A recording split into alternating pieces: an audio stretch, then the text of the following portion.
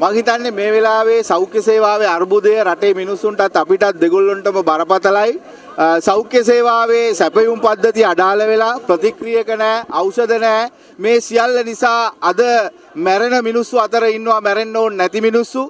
අද සංකීර්ණ රෝග හදාගන්න අය අතර ඉන්නවා සංකීර්ණ රෝගයක් හදාගන්නේ නැතුව ඉන්න ඕන මිනිස්සු. ඒ වගේම අද රෝග වැළඳෙන අය ඉන්නවා රෝගයක් නැතුව ඉන්න පුළුවන් මිනිස්සු.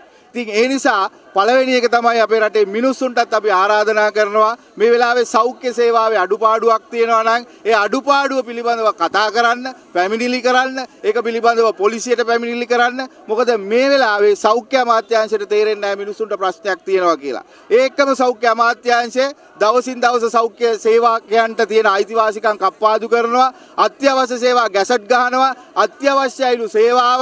හැබැයි තියෙන දෙයක් නැහැ. සෞඛ්‍ය සේවාවට අපිට සැපයුම් පද්ධතියක් නෑ ඖෂධ නෑ. හැබැයි ජනාධිපතිවරයා කියනවා සෞඛ්‍ය සේවාව අත්‍යවශ්‍ය සේවාවක්ලු. මේ වගේම අපිට තව ප්‍රශ්නයක් තියෙනවා. අපි ගත්ත පොලිය දෙගුණ කරලා කපන්න යනවා. අපි බැංකු ණයක් ගන්නේ අපි බැංකු ණය පොලි ගෙවන්න. අපි ගෙවන්නේ ඒ එකඟතාවයට අනුව. නමුත් ආණ්ඩුව බැංකු වලට කරලා තියෙන නියෝග වලට අනුව ගත්ත ණයට වැඩියෙන් පොලිය ගෙවනවා. ඊට පස්සේ සෞඛ්‍ය ලේකම්වරයා අපි කරපු සේවාවලින් 115ක් කපන්න කියනවා. ඒ වගේම මේ වෙනකොට සෞඛ්‍ය සේවාවේ සමස්ත කඩාවැටීමත් එක්ක සේවයට වාර්තා කරනවට වඩා gedara ඉන්න එක වටින එහෙම නැත්නම් gedara ඉන්න එක වාසිදායක තත්වයක් ඇති වෙලා තියෙනවා. ඒ අතරේ මේ සියලු ප්‍රශ්න අපි කතා කරන්න උත්සාහ කරනකොට මේ ප්‍රශ්න මග ඇරලා මේ ප්‍රශ්න වලට විහිළු කරලා මේ ප්‍රශ්න මග ඇරලා යන තත්වයකට පත් වෙලා තියෙනවා. ඒ නිසා අපි මේ පටන් ගත්තේ නැවත හරවෙන්නේ නැති අරගලයකට අපි මේ පටන් ගත්ත මේ සතිය අරගලය අවසාන වශයෙන්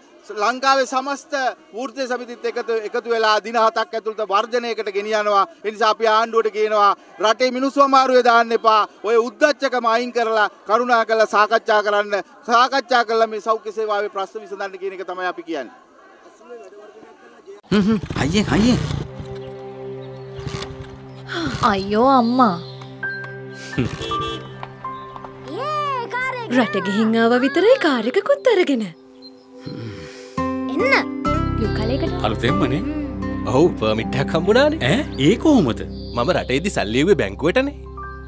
මං කිව්වනේ උන්ඩියල් සල්ලියවන්න එපා කියලා. උන්ඩියල් හරහා රටසල්ලි නොයවා නීත්‍යානුකූලව රටසල්ලිය වන ඔබට ඉලෙක්ට්‍රික් වාහනයක් ගෙන්වීමට බලපත්‍රයක් අඩු පොලියට නිවාසනයක් විශ්‍රාම වැටුපක් ඇතුළු වාසි ගොඩක්. ඔබ වෙනුවෙන් විදේශ සේවා නියුක්තිකාරයංශය පණවිඩයක්.